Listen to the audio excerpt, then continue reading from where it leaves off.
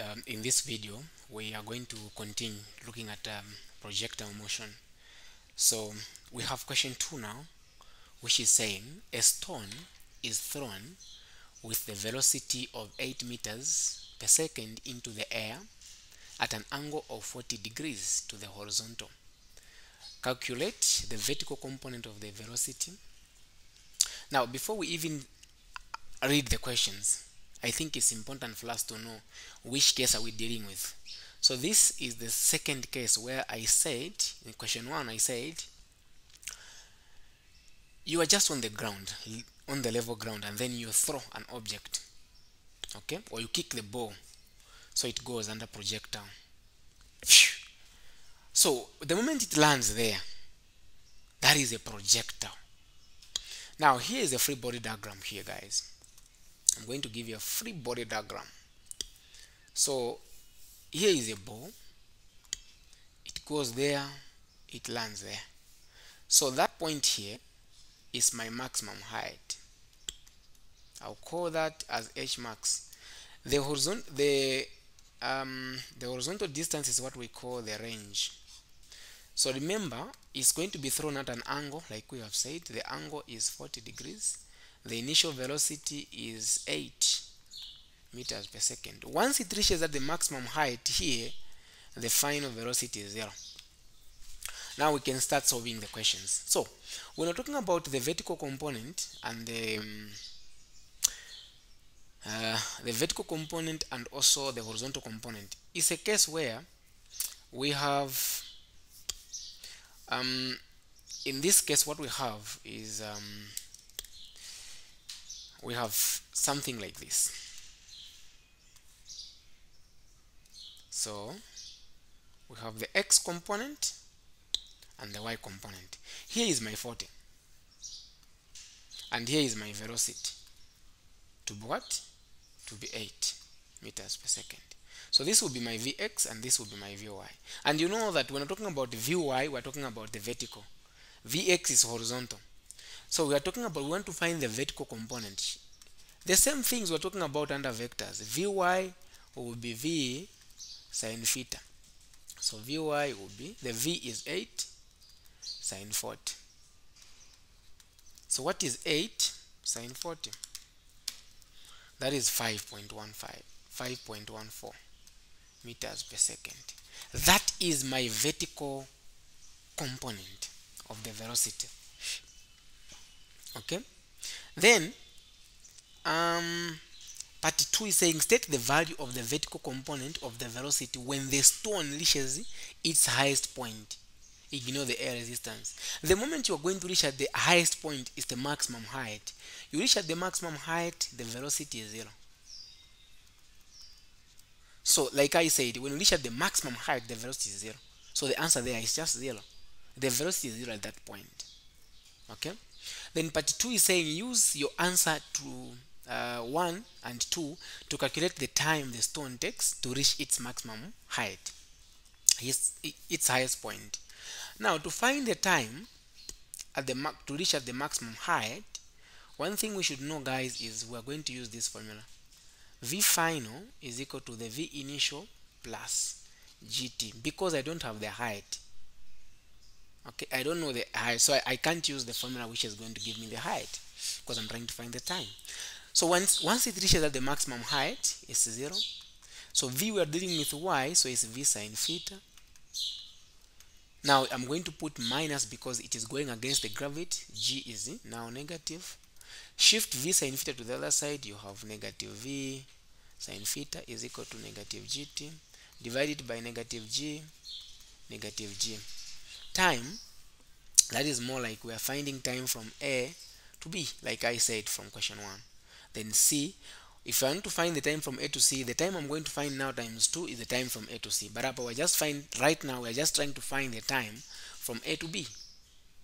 So it will be v is um, 8 sine theta of which is 5.15 we have already found there.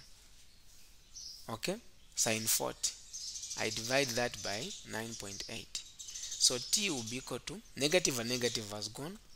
So we are talking about 8 sine 14 the answer is already 5.14 divided by 9.8 so I'm getting my time to be 0.52 seconds. Now this time it is the time it took this for uh, for this trajectory for this stone to reach at the maximum height. If I go to part 4 which is saying calculate the horizontal component of the velocity it's just the Vx. So Vx is V cos theta. Then Vx is 8 cos 40 so what is my it's going to be 8 cos 40 which is 6.13 meters per second that's my Vx. Now, again, the, the, the, the next question is saying, use your answer to, um, initially they, they wanted us to find, they're saying, use your answer from 5 to calculate the horizontal distance traveled by the stone. So we're using the answer for part 1, part C, A, B, C. Yes, we're using the answer for part 3 and 4.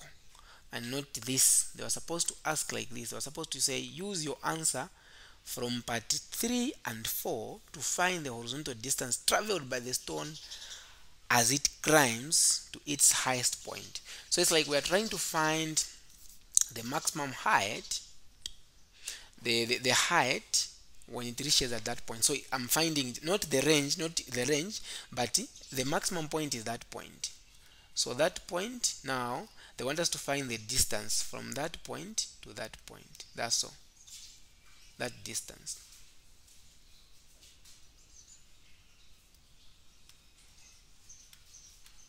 That's what they want us to find. So it's basically the same thing where I'm going to say um, the range is equal to Vx times t. Now time is the same time because this time is the time we, that's why the question is uh, is specified actually. We are using the answer from part, part 3 and 4. So the time we found there is 0.5 and the V we have found the Vx is 6.13. So it's just basically to plug in the values. 6.13 times 0.52. So the range will be equal to um, 3.19 meters. That would be the range. Now, in a case where the question was find the horizontal distance traveled by the stone as it reaches or as it lands on the ground. Then I was supposed to use the total time which is from A to C. So to find that time is just to, to do times 2 of this time. That is the total time.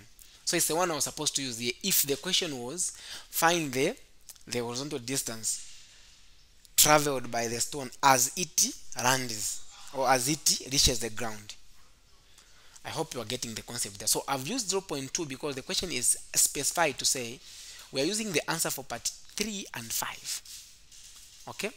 That's the basic idea behind that. Now, the last one here for part for question 2 is saying a stone is thrown horizontally from the top of the vertical cliff and lands 4 seconds later at a distance of 12 meters from the base of the cliff. Ignore the air resistance. Let's first come up with a free body diagram. That this is case one where you have got from here you throw an object it goes there. I expect to have the range which we have been given in this case where they're saying that the time is 4.0 seconds then at a distance of 12 meters from the base of the cliff so it lands there okay So a stone is thrown vertically from the top of the vertical cliff and lands 4 seconds later at a distance of that. So that is my range. That's my range. So now we are trying to find, I don't know, the h, that one. So the question is, calculate the horizontal speed. The horizontal speed is the speed in x-axis.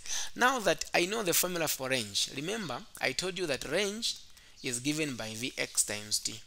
So now I have the t and r, which is the range. Range is 12. Make vx as a subject of formula, that is the horizontal uh, speed. So vx will be equal to r divided by t. So it will be 12 divided by 4 my vx will be 3 meters per second. The velocity in x direction doesn't change. That is what we need to know. The velocity in x direction doesn't change. It remains the same. Then part 2 calculate the height of the cliff. I told you to say for case 1 when an object is when you throw an object from here the object is going to have the uh, the horizontal speed which in this case it is 3 meters per second.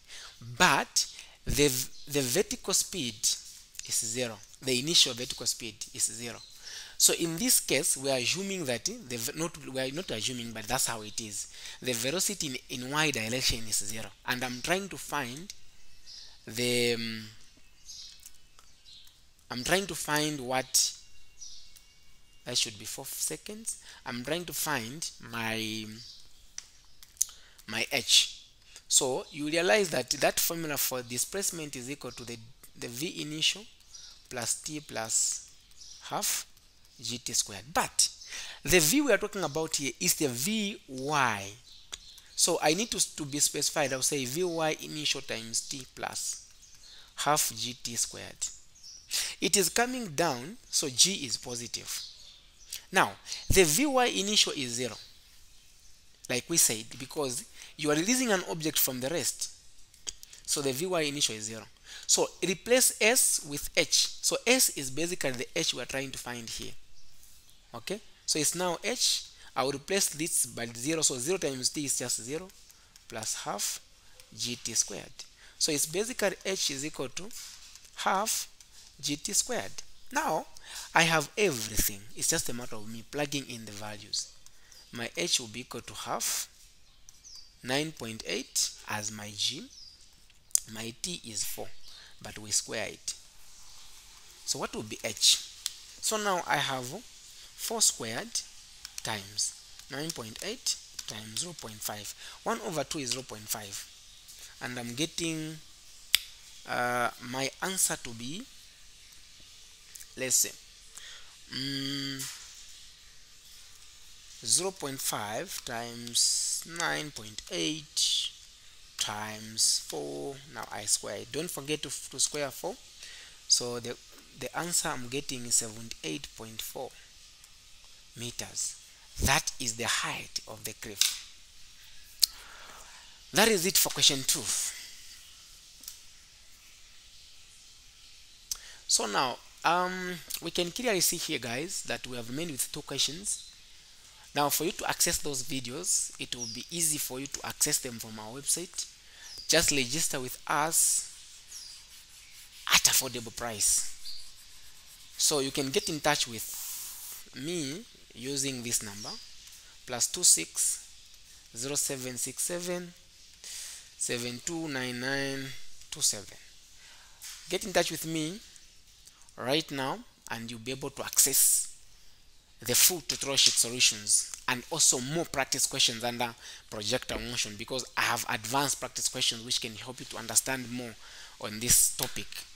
Okay so I have all the videos from uh, dimension analysis up to mechanical properties of matter everything both the practice questions and full um, topic videos. Okay